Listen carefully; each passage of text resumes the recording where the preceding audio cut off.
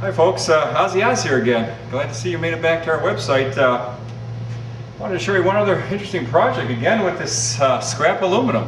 Stuff you'd probably just toss on a, on a roadside. I mean, don't do that. This stuff is very valuable. Another project, what we needed to do is uh, make a solar panel. And uh, what we did, we needed a frame. We actually had to size the frame, but to give you an idea what we did, we built up a custom frame and we sheeted it with aluminum. Okay? We sheeted it with aluminum like this here. You may wonder, well, what the heck is this guy doing? But I, am just, I, what I did is I made up a box. I made up a box because I needed something to stick this solar panel material to. And then this solar panel material I'm talking about is uh, it's made by a company called Unisolar, right here in Michigan. Let me just show you what that stuff looks like. And uh, get an idea of what I'm up to here. By the way, this is our uh, Java guy. That's still in the works. You may see that in another episode. But anyway, back to the solar material. So here's what we're talking about here, folks. This is a rubberized material. This is a rubberized solar material. Very flimsy. You can't just lay this down. I needed a box. I needed a box. Oh, you got any glass? Okay, we're good. So I needed a box to fasten this to. So that's the solar material, very durable. You can walk on this stuff. Each of these panels puts out about 125 watts. So I had to size, of course, make up my little frame. Let me show you what we did. Just come this way. I'll explain this to you. Here's where a lot of the actual engineering happens, right in this very room. All high-end equipment and software we got going here. But down this way, you come this way. Quiet in the building today. And uh, if you look to the left here, let me show you what we got going. Come on in here. So here's our solar panel right up there. What we have here, we've got about 250 watts of uh, power, DC power. Okay? And here's this box I'm talking about. Notice we salvaged that aluminum channel again. So we've got the channel, a thin piece of aluminum, then I stuck the roofing material right to that. And I designed this thing in such a way, folks, you look underneath here, this whole structure can pivot. I got hinges up at the top, and I mounted some, uh, these are just regular shelf brackets, I mounted to the wall here, and you can raise and lower these things to get this thing tipped right. And Right now I got it about maybe 42 degrees, which is kind of ideal for Michigan. So we got about 250 watts there. What I got here is a, is a uh, uh, basically a switch box in case I need to measure some uh, voltages at that panel, voltages and currents. And then I got some piping that goes underground over this way. And uh, what I have here, folks, is a disconnect, okay? I got a disconnect there. That's in the event that uh, we ever have to service this thing. And this is all DC, but you still need to put some kind of disconnect on there in the event that you need to service your equipment. And then what I have here, inside here is a, a device again called a charge controller. And what that does, that takes that power from that, that solar cell. That solar cell puts out 42 volts. That's not suitable for our battery, so we got to condition that down to 12 volts.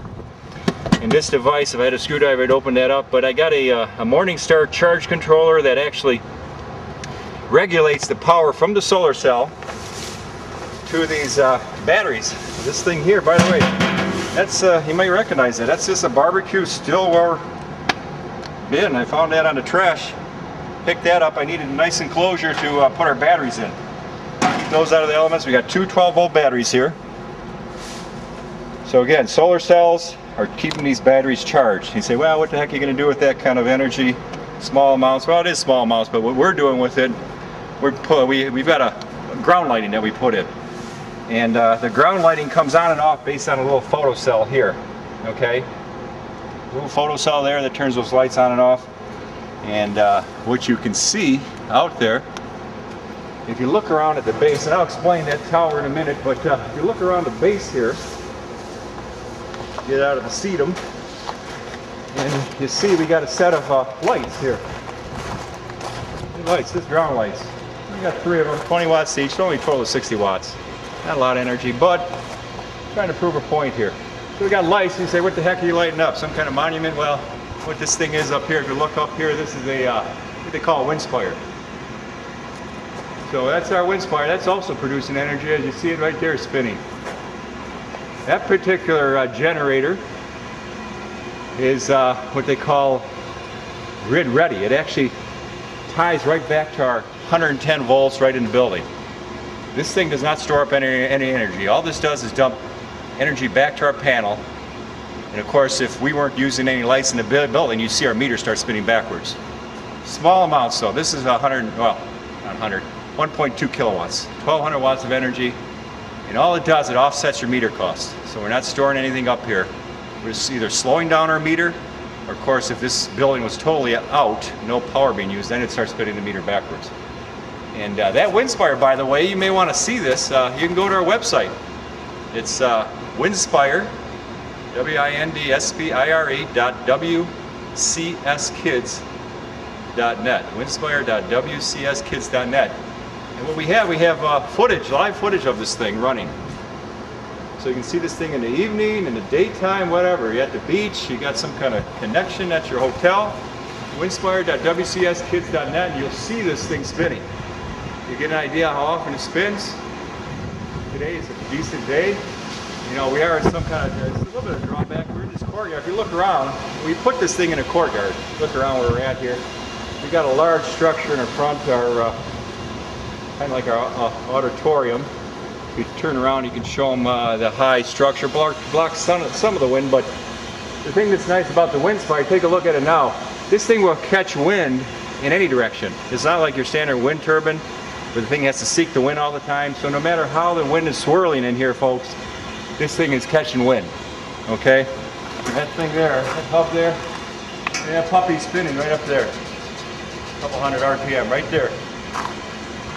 That's it.